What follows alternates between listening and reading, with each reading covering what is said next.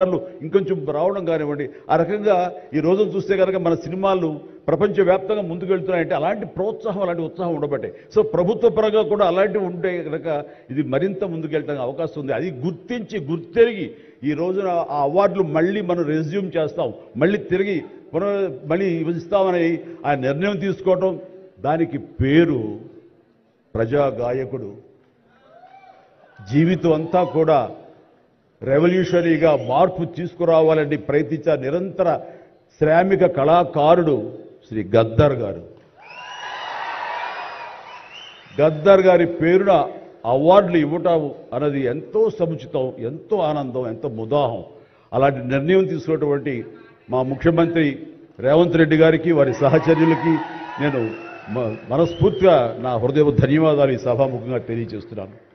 And ఇక్కడ నాకు ఈ అవార్డు రావడం ఆనందం కానీ ఆనందం మరింతగా ఉండటానికి కారణం మేము చిన్నప్పటి నుంచి ఎంతో అభిమానించి ఆయన చూసుకుని ఇన్స్పైర్ అయ్యాం. వారే స్టూడెంట్ లీడర్గా ఉండి జయాంధ్ర కోసం అప్పట్లో స్టీల్ ప్లాంట్ కోసంగా ప్రయత్నం చేసినటువంటి వెంకయ్య నాయుడు గారు. ఆయన వైజాగ్ కాలేజీలో యూనివర్సిటీలో ఆయన స్టూడెంట్గా ఉన్నప్పుడు ఆయన ఇచ్చిన పిలుపుకి ఎక్కడో నర్సాపురంలో ఉండే మేమందరం స్పందించి స్ట్రైక్ చేయడం అనేది జరిగింది. ఆ రోజు నుంచి కూడా నా మాకు ఒక లీడర్ లాగా మా నాయకుడిలాగా ఆయన మేము భావిస్తూ వచ్చి నన్ను అలా మేము ఎదిగాం. ఆయన అప్పటి నుంచి అబ్జర్వ్ చేస్తూనే ఉన్నాను ఆయన వాగ్ధాటికి నేను పెద్ద ఫ్యాన్ని. ఆయన మాట్లాడే మాటలు అలాగా నోరు వెళ్ళగట్టి చూస్తుంటాను ఇప్పుడు కూడా అదే ఎదురు చూస్తాను. ఆయన ఎంత ఓపికగా మాట్లాడతారో తెలియదు కానీ డెఫినెట్గా అలరిస్తారంటూ ఎలాంటి సందేహం లేదు. సో ఆ రోజు నుంచి ఈ రోజు వరకు కూడాను ఆయన రాజకీయంగా ఒక హుందాతనంతో రియల్ స్టేట్స్మెన్ ఇన్ పాలిటిక్స్ అన్నది ఆయన నిర్మాణాత్మకంగా అలా వెళ్తూ ముందుకెళ్తూ ఈ రోజున అత్యున్నతమైన పొజిషన్ మాజీ ఉపరాష్ట్రపతి ఉపరాష్ట్రపతిగా ఆయన నిర్వహించి తన బాధ్యతలు చేశారు. కానీ ఆయన ఎప్పుడూ మదనపడుతుంటారు. నాతో కూడా ఆయన షేర్ చేసుకున్నారు. రాజకీయాలు రాను రాను ఇలాగా దుర్భాషలతోటి వ్యక్తిగత విమర్శలతోటి ఇలా దిగజారిపోతున్నాయి చిరంజీవి గారు. ఇది కాదు ఇది. ఆ హుందాతనం ఉండాలి. ఉండి కూడా ఎన్ని సాధించాం మేము? అది ఇదవుతున్నాడు. ఎంత మదన పడుతున్నారంటే వన్ టు వన్ కూర్చున్నప్పుడు ఆయనతో నాతో చెప్పినప్పుడు. ఇప్పుడు కూడా అలాగే అయిపోతుంది. అలా అవ్వకుండా ఉంటే బాగుంటుంది అంటే అలాంటి అవ్వకుండా ఉంటే బాగుంటుందన్న ప్రయత్నంలో నేను కూడా మిమ్మల్ని ఇన్స్పిరేషన్గా తీసుకుని నేను వెళ్ళినవాడేనండి కానీ ఆ ధాటికి ఆ మాటలకి మాట పడటం మాట అనటం ఇది నా వల్ల కాదు మీలాగనే. కాబట్టి నేటి రాజకీయాల్లో మనం అన్ఫిట్ అంటారా? లేకపోతే మనలాంటి వాళ్ళు ఇలాగా ఏగే ప్రతిసారి ప్రతి చోటని చెబుతూ ఉంటే ప్రజలు వాళ్ళు మోటివేట్ అయ్యి అలా దుర్భాషలాడి రాజకీయంగా వ్యక్తిగతంగా విమర్శ చేసే వాళ్ళ వాళ్ళని వాళ్ళు తిప్పి కొట్టగలిగితే ఖచ్చితంగా మీరు అనుకున్నది నేను అనుకున్నది జరిగి తీరుతుందండి. ఒక వాజ్పేయి గారు ఆ రోజుల్లో స్టేట్స్ మ్యాన్ అంటారు. ఆయనలాగా మళ్ళీ అంత హుందాతనం మళ్ళీ మనం ఈ రోజున మనం వెంకయ్యనాయుడు గారిలో చూస్తున్నాం. అయితే ఆయన రాజకీయంగా కొంచెం విశ్రమించారు కాబట్టి ఈ రోజున ప్రజలే ఆలోచించుకోవాలి. అలాగా నోరు జారే వాళ్ళని దుర్భాషలాడుతూ వ్యక్తిగత విమర్శలు చేసే వాళ్ళని తిప్పికొట్టే విధంగా నిర్ణయించే శక్తి మీకే ఉన్నది. మీరే నిర్ణయించుకోవాలని చెప్తున్నారు ఈ రోజున రకరకాల రంగాలకు సంబంధించినటువంటి గొప్ప గొప్ప వ్యక్తులు వాళ్ళు గుర్తింపు వస్తుందా రాదా అని కాదు. అది వాళ్ళ ఇంట్రెస్ట్ కొద్ది ఈ రోజున ఇక్కడ ఒక్కొక్కరు శిల్పకళాకారులు ఉన్నారు అలాగే కొన్ని కొన్ని art forms of village rural సంబంధించిన వాళ్ళు ఉన్నారు సమయ గారు ఇట్లాగా అలా రకరకాల కవులు ఉన్నారు వీళ్ళందరూ కూడాను ఆ పని చేసుకుంటూ వెళ్ళిపోయి అదే మా జీవితం అదే మా ధ్యేయం అంటే అలా ముందుకు వెళ్ళిపోయి వెళ్ళిపోయే ప్ర- దీంట్లో ఈ రోజున ప్రభుత్వాలు గుర్తించి వాళ్ళకి పద్మశ్రీ అవార్డులు ఇవ్వటం అన్నది పద్మ అవార్డుతో గౌరవించుకోవడం అన్నది ఈ సందర్భంగా నేను వాళ్ళ గుర్తించినటువంటి భారత కేంద్ర ప్రభుత్వానికి నేను మనస్ఫూర్తిగా నా అభినందనలు తెలియజేస్తాను నా సంతోషాన్ని వ్యక్తపరుస్తాను. దీనికి మరీ ముఖ్యంగా మన ప్రియతమ నరేంద్ర మోడీ గారు ప్రధానమంత్రి ఆయన దీన్ని గుర్తించి అలాగా ఇవ్వడం జరిగింది. ఇక్కడ ఒక విషయం చెప్పొచ్చో చెప్పకూడదో తెలియదు కానీ ఒక విషయం చెప్తాను. మధ్యాహ్నం నాకు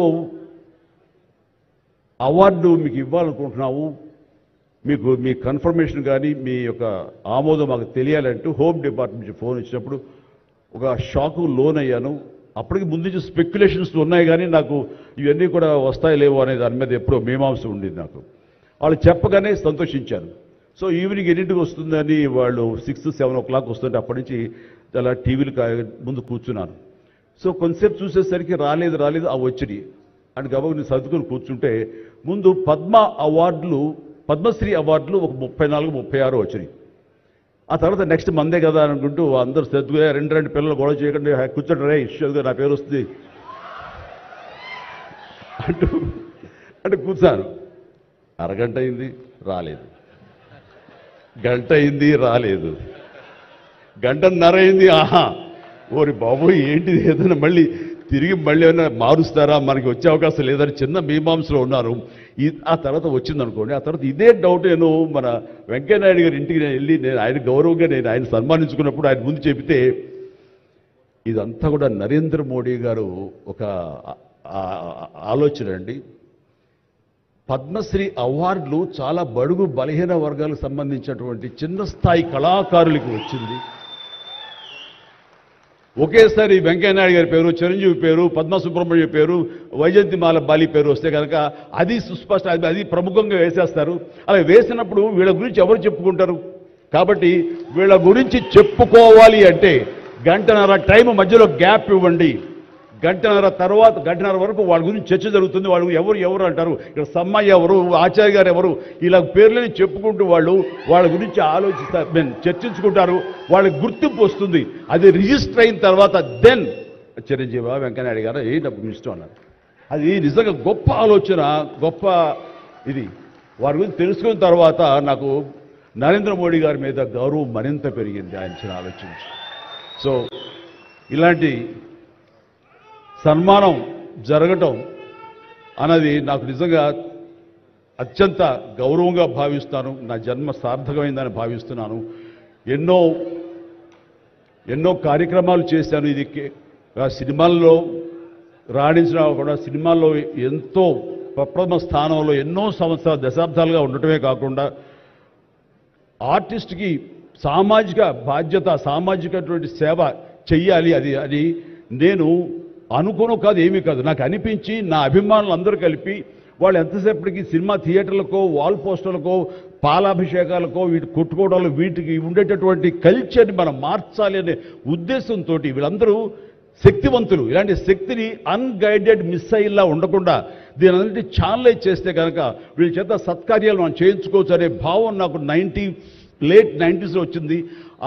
అందులో భాగంగా ఆ రోజున బ్లడ్ దొరకక ఎంతోమంది మరణిస్తున్నారని తెలిసిన తర్వాత ఇంతమంది ప్రజానీకం ఉండి కేవలం బ్లడ్ అనేది హాస్పిటల్లోనో లేకపోతే ఫార్మస్యూటికల్స్లోనో దేడు దొరకదు మనకి. అది మనిషి ఇంకో మనిషికి ఇస్తేనే దొరుకుతుంది. అలాంటిది మనుషుల్లో ఇన్స్పైర్ చేయక వాళ్ళు స్పందించి స్పందించ స్పందింపచేసే విధంగా ఎవరు ముందుకు రాక జరుగుతుంది కాబట్టి నేను ఎందుకు చేయకూడదు? నా అభిమానులు అనేవాళ్ళు ఎస్ ప్రాణం ఇస్తామంటారు. ప్రాణం వద్దు రక్తం ఇవ్వండి.